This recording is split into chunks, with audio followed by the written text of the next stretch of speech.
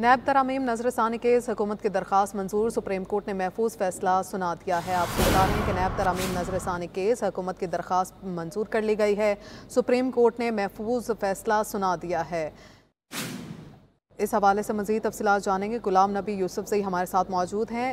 بتائیے گا کہ supreme court نے محفوظ فیصلہ سنا دیا ہے؟ جی بالکل۔ سپریم کورٹ نے حکومت کی انٹرا کورٹ اپیل منظور کر کے نیب ترامیم کو کلدم کرنے کا جو فیصلہ تھا، وہ کلدم کر دیا ہے اور نیب ترامیم دو ہزار بائیس کو بحال کر دیا ہے۔ اس فیصلے کے بعد جو ترامیم کی گئی تھی اور جو اختیارات کم کیے گئے تھے نیب کے، تو وہ ترامیم اب بحال ہو گئے ہیں۔ اور جو کیسز ان ترامیم کے ذریعے ختم ہوئے تھے۔ وہ کیسز اب ختم ہو گئے ہیں کیونکہ ترامیم کا لدم کرنے کے بعد وہ کیسز دوبارہ بحال کر دیے گئے تھے۔ تو وہ کیسز بھی اب دوبارہ جو ہے نا وہ بحال نہیں ہوں گے اور وہ کیسز ختم ہو گئے ہیں۔ سپریم کورٹ کے تین رکنی بینچ جسٹس اطر من اللہ کی سربراہی میں دو ایک کی اکثریتی فیصلے سے عمران خان کے جو پٹیشن تھی نیب ترامیم کے خلاف وہ منظور کرتے ہوئے نیب ترامیم کلدم دیے تھے۔ تو اس کے بعد حکومت نے فیصلے کو کی اور چیف جسٹس قاضی فائزیسا کی سربراہی میں پانچ رکنی بینچ نے کوٹ اپیلوں کو سنا تھا۔ بینچ میں جسٹس امین الدین، جسٹس اطر من اللہ، جسٹس جہان مندوخل جسٹس سید اظہر رضوی شامل تھے۔ تو سپریم کورٹ نے چھ جون کو ان انٹرا کورٹ اپیلوں پر سماعت مکمل کر کے فیصلہ محفوظ کیا تھا۔ آج فیصلہ سنا دیا گیا ہے، چیف جسٹس نے فیصلہ سنا دیا ہے۔ اور اس فیصلے کی روح سے جو میجارٹی فیصلہ تھا، وہ کلدم کر دیا گیا ہے۔ عقیل افضل بھی ہمارے ساتھ موجود ہیں۔ عقیل بتائیے گا کہ سپریم کورٹ نے جو نیب ترامیم بحال کیا ان کے حوالے سے بتائیے گا۔ جی بالکل، سپریم کورٹ آف پاکستان نے جو بانی پی ٹی آئی کی جانب سے حکومت کی دو ہزار بائیس میں لائی گئی ترامیم کو چیلنج کیا تھا، ان اپیلوں کو اس درخواستوں کو مسترد کر دیا اور اس کے ساتھ ساتھ جو حکومت کی جانب سے اپیلیں کی گئی تھیں، ان کو منظور کر لیا ہے۔ سپریم کورٹ نے یہ متفقہ طور پر فیصلہ سنایا ہے، تاہم جسٹس اطر ملا اور جسٹس حسن اظہر رضوی کی جانب سے فیصلے کے حوالے سے اپنی الگ الگ وجوہات لکھی گئی ہیں۔ سپریم کورٹ کے اس فیصلے کے بعد جو تمام ترامیم جو وفاقی حکومت کی جانب سے لائی گئی تھی، انہیں اپ ہولڈ کر دیا گیا ہے۔ جبکہ بانی پی ٹی آئی کی جانب سے جو درخواست سپریم کورٹ آف پاکستان میں نیب ترامیم کے خلاف دائر کی گئی تھی، اس کو جو ہے وہ مسترد کر دیا گیا ہے، کل عدم کر دیا گیا ہے۔ اور سپریم کورٹ آف پاکستان کا اپنا ہی فیصلہ، جو کہ جسٹس عمر بندیال کی سربراہی میں دو دو رکنی بینچ نے اکثریت کی بنیاد پر سنایا تھا۔ سپریم کورٹ نے اس کو بھی ختم کر دیا ہے۔ جسٹس منصور علی شاہ نے اس اکثریتی فیصلے سے اختلاف کیا تھا۔ جسٹس اطر ملا نے جسٹس منصور علی شاہ کی جانب سے دی گئی وجوہات جس میں کہا گیا تھا کہ ججز اور آرم فورسز کے جو اراکین میں جو آرم فورسز کے افسران ہیں، وہ نیب نیب کے قانون سے استثنا نہیں ہے جسٹس ستر میں نے اس فیصلے سے بھی جسٹس منصور علی شاہ کے اس فیصلے سے بھی جو ہے وہ اتفاق کیا ہے اور اس کے ساتھ ساتھ فیصلے کے حوالے سے اپنا اضافی نوٹ بھی تحریر کیا ہے۔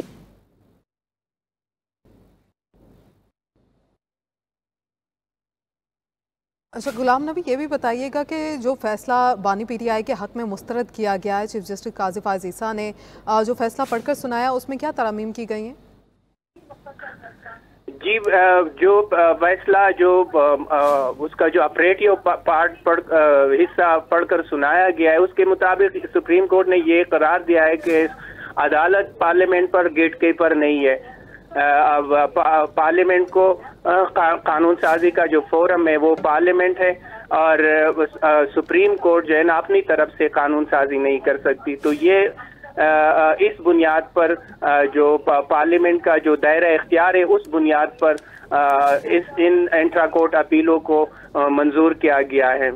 اس سے پہلے جو میجارٹی فیصلہ تھا جس کے تحت جو نیب ترامیم کلدم کی گئی تھی۔ اس میں بیسیکلی سپریم کورٹ نے بنیادی جو انسانی حقوق کی بنیاد پر ان ترامین کو کلدم کیا تھا۔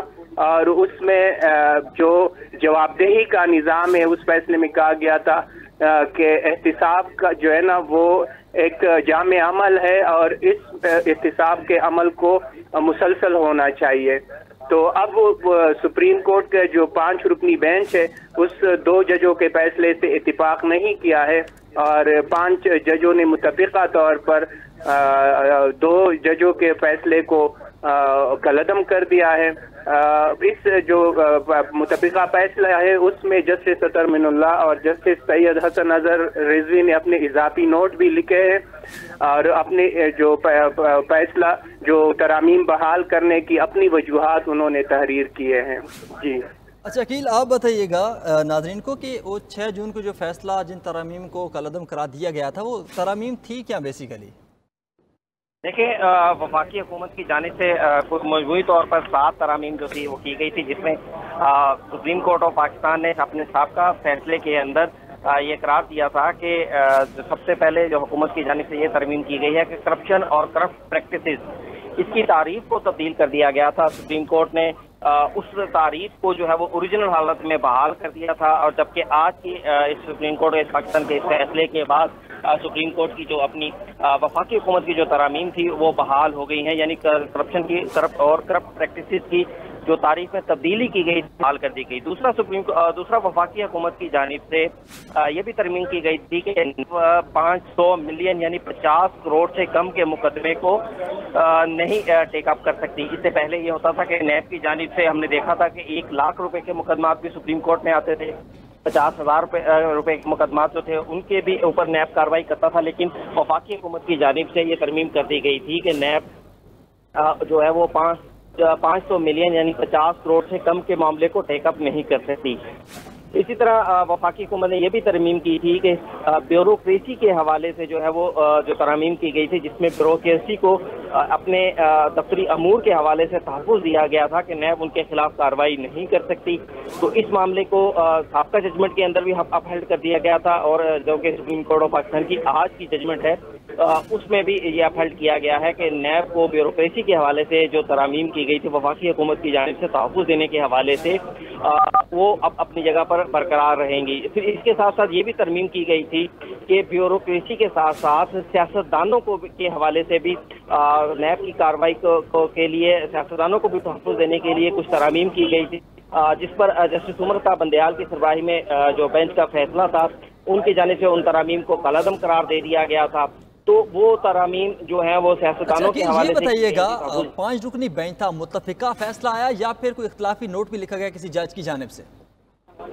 دیکھیں فیصلہ متفقہ ہے صرف جسٹس اطر ملا اور جسٹس حسن اظہر رضی کی جانب سے جو ہے وہ اپنی الگ الگ وجوہات لکھی گئی ہیں۔ جسٹس حسن اظہر رضوی نے کہا ہے کہ میں فیصلے سے اتفاق کرتا ہوں لیکن وجوہات الگ تحریر کروں گا۔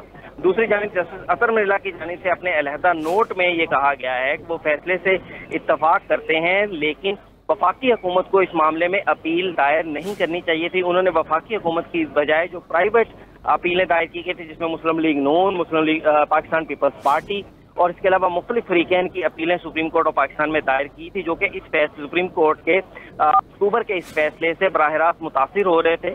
تو ان ان اپیلوں کو جسٹس اطر ملا نے جو ہے وہ اپ ہیلڈ کیا ہے، ان اپیلوں کو منظور کر لیا ہے۔ لیکن وفاقی حکومت کی اپیل یہ کہتے ہوئے منظور کر لی کہ نیب ترامیم کے حوالے سے یا کسی بھی قانون سازی کے حوالے سے وفاقی حکومت کو کورٹ میں نہیں آنا چاہیے تھا۔ جسٹس اطر فیصلہ متفقہ ہے۔ چمانچہ جج صاحبان نے اس فیصلے سے اتفاق کیا ہے۔ اور جبکہ اس سے پہلے جسٹس اطر ملا نے جو جسٹس منصور علی شاہ کا اقلیتی فیصلہ تھا، جس میں یہ کہا گیا تھا کہ نیب قانون میں سپریم کورٹ یا اعلیٰ عدلیہ کے ججز اور اس کے ساتھ ساتھ جو آرم فورسز کے رکین ہیں، ان کے حوالے سے استثناء کا ذکر نہیں ہے۔ تو اس پر جو ہے، جسٹس اطر ملا نے اس حد تک اتفاق کیا ہے۔ جسٹس منصور علی شاہ کی اکثریتی سوری، اقلیتی جو رائے تھی، اس سے تو اب سپریم وفاقی حکومت کی جانب سے دو ہزار بائیس میں جو ترامیم کی گئی تھی، ان تمام ترامیم کو اوریجنل حالت میں سپریم کورٹ آف پاکستان نے بحال کر دیا ہے۔ چیف جسٹس قاضی فائز نے یہ اکثریت یہ فیصلہ پڑھ کے سنایا ہے۔ جبکہ اوریجنلی طور پر سپریم کورٹ کے پانچ رکنی لارجر بینچ میں بینچ نے اس مقدمے کی سماعت کی تھی۔ چھ جون کو یہ فیصلہ محفوظ کیا گیا تھا۔ Chief justice Qazi Faez Ishaq Naeem Akhtar Afghan justice Jamal Mandokhail justice Hasan ملا اور جسٹس حسن اظہر رضوی اس بینچ میں شامل تھے۔ جی۔ اچھا عقیل یہ بتائیے گا جب چھ جون کو یہ فیصلہ آیا تھا اس کے بعد یہ احکامات نیب کو جاری کیے گئے کہ تمام بند کیسز ایک ہفتے کے اندر دوبارہ کھولے جائیں اور کچھ کیسز کھول بھی گئے تھے تو اب دوبارہ کیسز پھر سے وہ بند کر دیے جائیں گے؟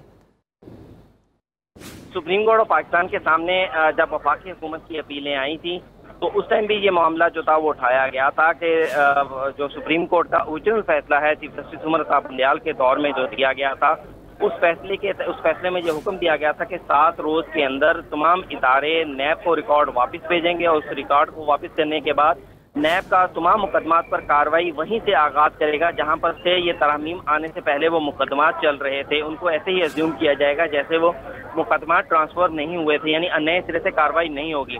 تو سپریم کورٹ آف پاکستان سے یہ وفاقی حکومت کی جانب سے استدا کی گئی تھی کہ سپریم کورٹ اس فیصلے پر حکم امتناعی دے، لیکن سپریم کورٹ آف پاکستان کی جانب سے حکم امتناعی تو نہیں دیا گیا تھا۔ فائنل ڈیسیجن سے جو ہے وہ روک دیا گیا تھا، کاروائی جاری رکھنے کا کہا گیا تھا۔ تمام مقدس جو کہ سپریم کورٹ کے اوریجنل فیصلے کے بعد نیب کو واپس گئے تھے۔ نیب میں ان کی کاروائیاں جاری تھیں۔ نیب میں ان مقدمات کی سماعتیں جاری تھیں۔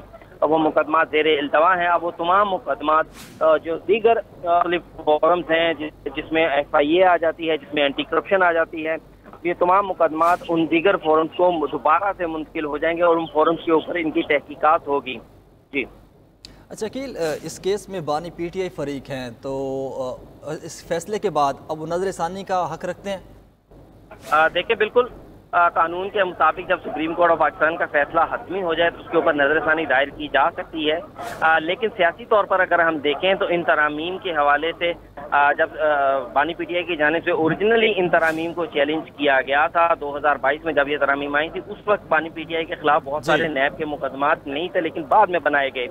تو اب کہا یہ جا رہا ہے کہ ان جو سپریم کورٹ کا یہ فیصلہ آیا ہے نمائندگان عقیل افضل اور غلام نبی یوسف سے ہمارے ساتھ موجود تھے، آپ دونوں کا بہت شکریہ۔